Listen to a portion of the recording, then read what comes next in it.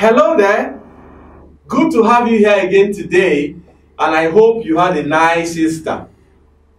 Last week, if you remember, we stopped at the point where I was pointing out to you that the planning I am talking about is not the traditional planning where you go from year one to year two and then you continue like that. If you approach it this way, typically by year five, many times you get stuck. But what I am sharing with you is called reverse engineering. Reverse engineering. If you remember what we shared last week, one of the things you need to decide is your planning horizon, whether you are planning with a 10 or a 15 year horizon. So, whatever you've decided, in this life planning technique, what you need to do is to start with the farthest point in the planning horizon that you have decided. What I mean by that is this assuming that you are 30 right now and you have decided to plan with a 15 year horizon, that gives you 45. What that then means is that the starting point for this plan is not year one, but year what? Year 15. Meaning you are not planning for when you are 30, you are starting to plan with what? When you are 45. And how do you do this? Number one, I prefer to do this on Excel.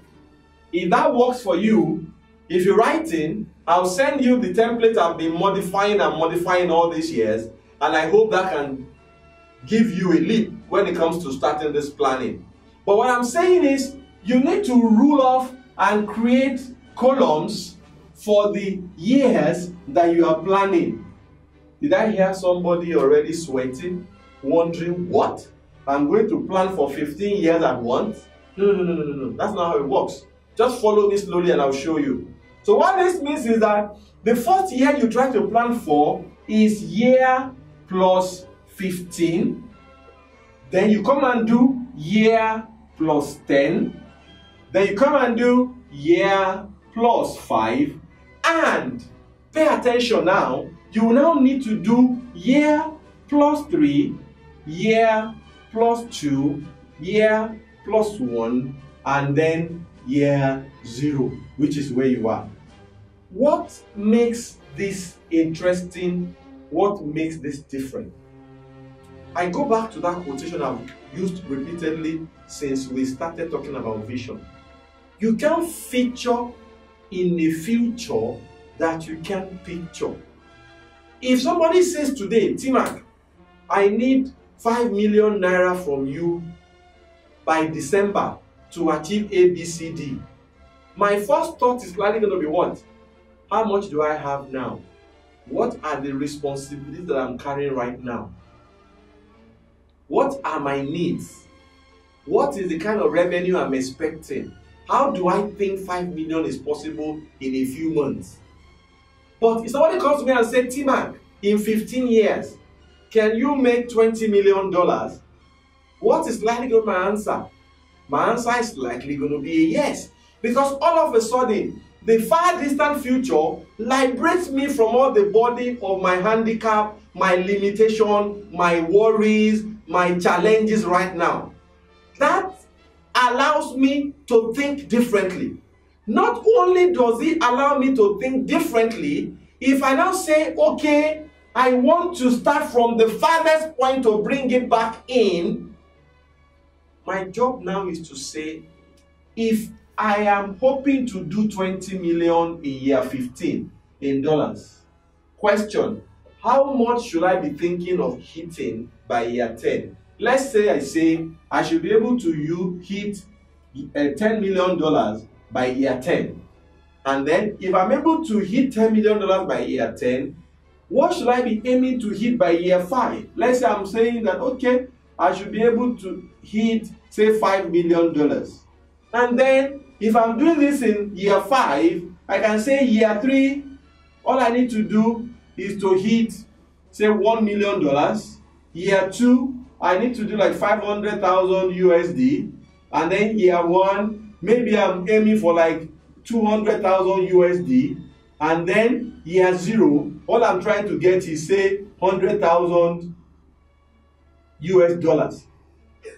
If you follow this journey, how does it feel? All of a sudden, my headache is not the 20 million. I'm now saying 100,000 US dollars. Now, let me dwell on this a bit. Assuming that I now think that, you know what, 100,000 is too steep right now. Maybe what I think is feasible or realistic is actually $20,000. I can adjust these numbers all through this to still arrive at my $20 million. How do you feel listening to this? I am telling you what works. Like I said to you in my past videos, I've been doing this now for almost 20 years. Let me share some examples of what I've done with this kind of plan. I left the university and I was determined that by the time I would be 30, I wanted to have become a child accountant. And I made up my mind that I was not going to get married until I become a chartered accountant. That was number one. Number two, following this kind of plan, I said that by the time I was 35, I would like to have I would like to have attained the role of a managing director where I will have P&L responsibilities for a company. That was target number two. Let me stop at that because my director is beginning to wink at me. How did this help me to achieve it?